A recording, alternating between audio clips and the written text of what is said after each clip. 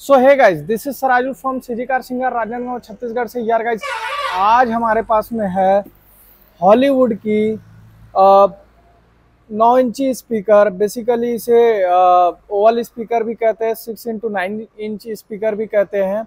यार गाइज़ ये जो स्पीकर है ना 500 वॉट के साथ आता है, बहुत अच्छा सॉफ्ट एंड स्वीट आउटपुट है इसका। यार गाइज़ ये अपने रेंज में ना अपने साउंड को काफ़ी जस्टिफाई करता है साउंड क्वालिटी वगैरह काफ़ी अच्छी है इसकी। आ, इसका मैं आपको एमआरपी दिखा देता हूँ।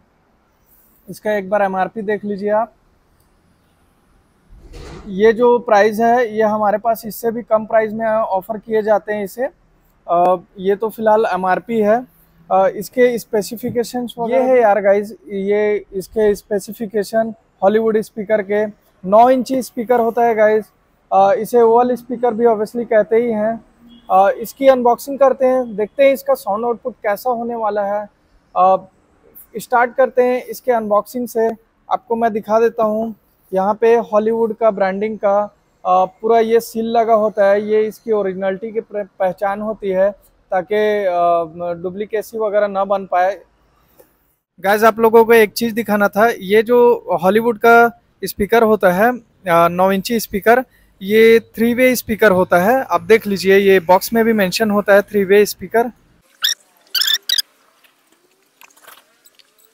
ये फॉर्म आता है इसके प्रोटेक्शन के लिए।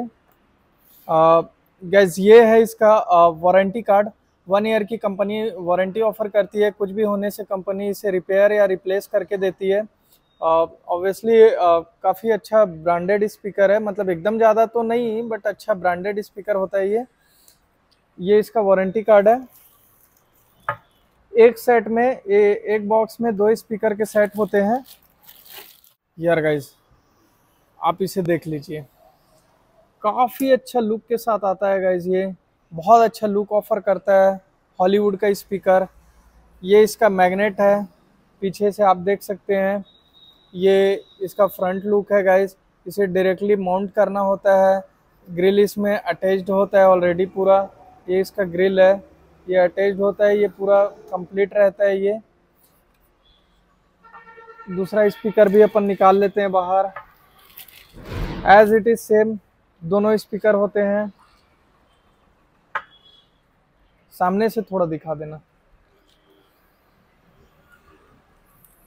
यार गाइज़ आप इसके लुक वगैरह देख लीजिए। काफ़ी अच्छा होता है साउंड आउटपुट डिसेंट होता है गाइज़ इसका, क्योंकि ये जो प्राइस पॉइंट में आता है बहुत अच्छा खासा प्राइस पॉइंट में आता है मतलब कम रहता है, बहुत ज़्यादा प्राइस नहीं होता है बड़े बड़े ब्रांड से अगर कंपेयर करेंगे सोनी है जेबीएल है पाइनियर है, ये बहुत ही बड़े ब्रांड्स होते हैं स्पीकर्स के मामले में उनसे अगर कंपेयर करेंगे तो ये बहुत सस्ते होते हैं और इसकी साउंड क्वालिटी काफ़ी अच्छी होती है ये आप देख सकते हैं, ये इसका फ्रंट एंड ये इसका मैग्नेट वगैरह, ये इसमें वारंटी का जो नंबर रहेगा इसके, ये जो गाइज़ आप देख सकते हैं, ये जो नंबर यहाँ पे मेंशन किया होता है सेम नंबर इसमें barcode same number of barcode इसमें भी लगा होता है। ये है गाइज़ इसका पूरा अनबॉक्सिंग और एक चीज़, इसमें साथ में ये स्क्रू वगैरह आए होते हैं स्पीकर को माउंट करने के लिए। तो ये था गाइज़ इसका अनबॉक्सिंग अब इसका हम आपको साउंड आउटपुट वगैरह दिखाने वाले हैं, कैसा साउंड आउटपुट होता है।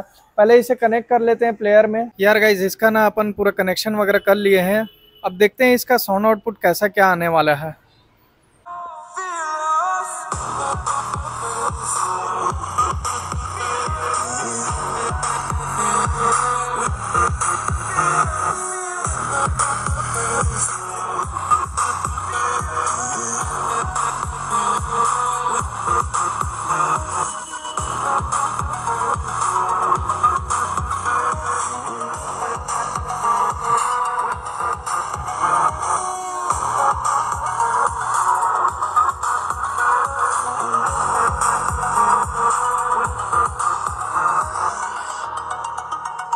सो यार गाइज़ आपने इसका अनबॉक्सिंग देखा और आपको हमने साउंड आउटपुट भी सुना करके दिखाया।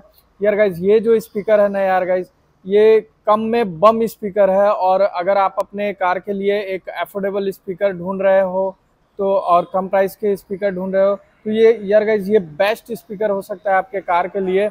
साउंड आउटपुट वगैरह आप सुन के देखे ही आपने, आपको कैसा लगा मुझे ज़रूर बताइएगा कमेंट में। काफ़ी अच्छा साउंड आउटपुट होता है as compare to his price और काफ़ी ठीक ठाक रहता है सारा चीज़। आई होप गाइज़ आपको ये वीडियो अच्छा लगा होगा। Thank you so much for watching this video